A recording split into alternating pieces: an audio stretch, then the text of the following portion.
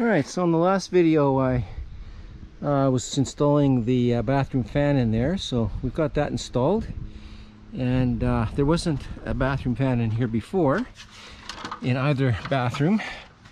So uh, yeah, I show you how I did it. And so that's it's there. And so now that I've got, uh, you know, I wanted access in the attic to get those, uh, the vents up through there. That's that black pipe you see going up there. So now I've got, got that all done.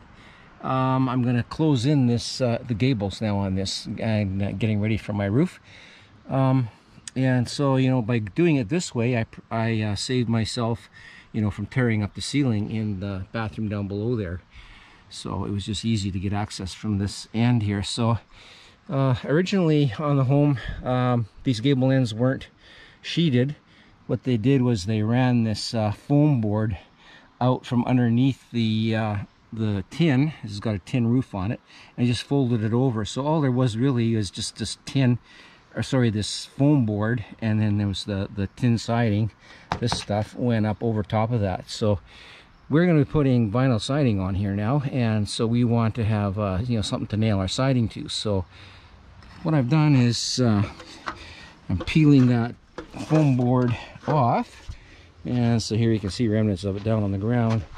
And so I've uh, you know cleaned this side off and uh, I have a piece of uh, 3 8 OSB now that I'm gonna that I've cut that I'm gonna fit in and uh, you know put on the, on that gable to close it in. And uh, yeah so I'll get it up there and show you and then uh, get a little further along here I'll bring you back. All right so I got uh, that half in okay I've got the foam board peeled off the other half there. And so now I'll just uh, do the same as this side. Let's put a piece up in there now and uh, that end will be closed in. Look at that nice blue sky folks. We haven't seen nice blue sky like that for quite a while around here. It's been really rainy windy and we're finally into some of our hot summer weather here. All right so now we got this end all done. Uh, that was the easy end so now we've got a good place there now to put our uh, vinyl siding on. And uh, yeah we're ready to go now. The overhang will come out over that. And I can back frame onto that uh, OSB gable end for the overhang that I'm going to be adding onto there. All right so now I am going to be down at the other end and get that closed up just lock you down here. And so yeah this is to get closed in now here. So I have to take that one truss out. Uh, that's a 16 inch overhang there. We're to cut it back to a 12 inch so we have a 12 inch all the way around. And then I'm to have to extend that uh, projection there up into the gable and then sheet the, the ends of that one.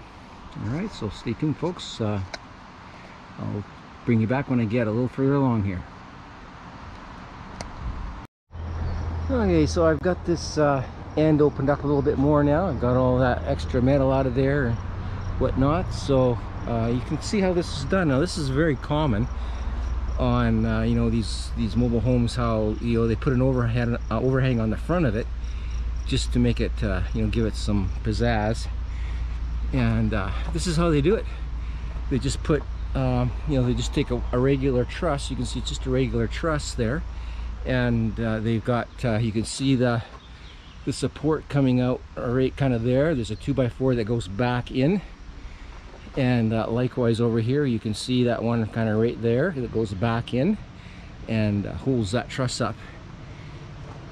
So uh, what I'm going to do now is I'm going to get rid of that because we're not going to have this gable here we're going to have it uh, the walls are going to go straight up into the overhang so all I'm going to do is take my trusty sawzall here. I don't know what I'd do without my trusty sawzall. And I'm just going to start cutting that truss out of the end and get it out of there. And then once I do that, um, then I'll sheet the end of the uh, that the end of the gable there, the same as I did on the other end. And then I'll build up this box on top of that. And then the uh, you know the new overhang will come out over top of that.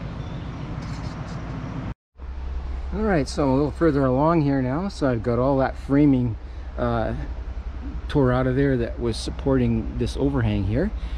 And so now I'm going to, uh, you know, sheet this last truss here, which will become the new gable end. And uh, here's something interesting about mobile homes.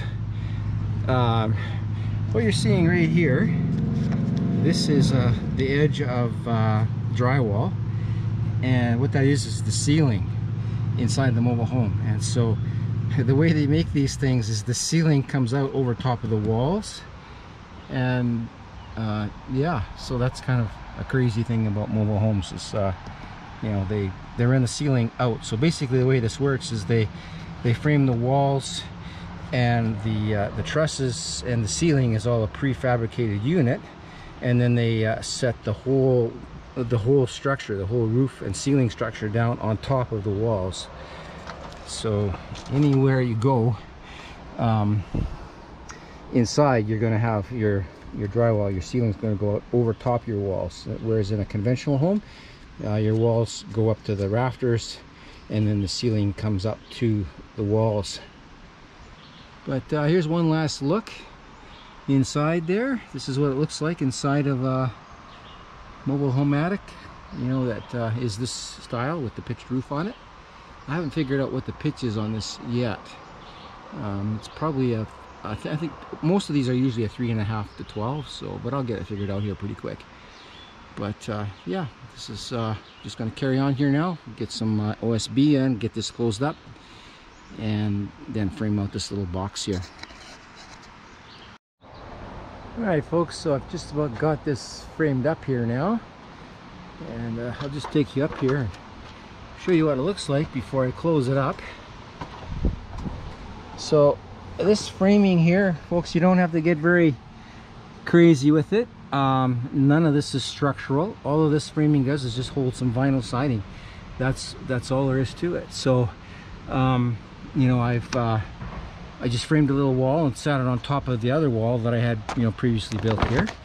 And uh, I'm just getting ready now to cut my piece of OSB so I've just framed it straight across the top. When I cut my OSB I'll cut it so that it follows up into the angle of the gable there.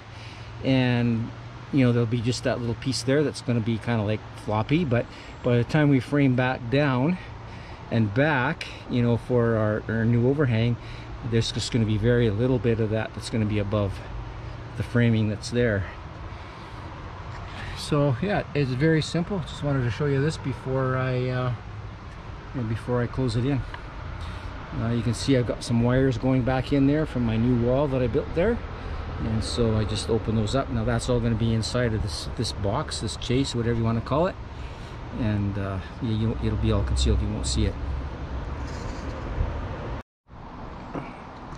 Alright folks, so I've got that all sheeted in up there now and uh, you know my little window is all done here.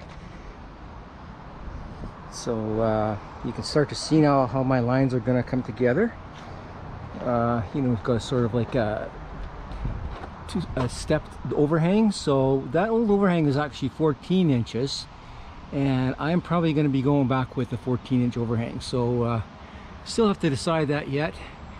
But uh, yeah, this is how this has turned out.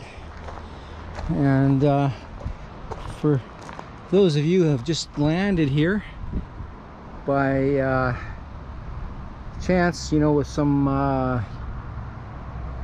magical YouTube blogorithm and are wondering what the heck this is all about.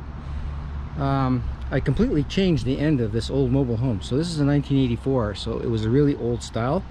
And I'll put a link to the uh, video where I took that old window. It was an old bay window, bow window that was in there and uh, really ugly, you know, gable up in there. You saw a little bit of that uh, before here but uh, yeah updating it to this and uh, so now when I get to the roof we're gonna have some nice 8 inch uh, fascia boards there we're gonna have some nice soffit and back in that first video where I tore this all apart and rebuilt the the window part of it I was debating on uh, on my my lighting so originally there was lighting and you can see it here there's an old outlet there and kind of right there and everything was off centered here offset and so I was debating whether I was going to go with uh, uh, wall light or uh, recess light. So I've decided to go with the wall lights. And so I'm going to have one on either side. You can see the other one is roughed in over here. And uh, so the uh, lights that I like to use, they, they actually shine up and then they shine down. So it'll illuminate that soffit area and uh, they, they look quite nice. So uh, that's going to be it for this video, folks. I'm going to wrap it up and uh, we'll see you on the next one. Bye-bye.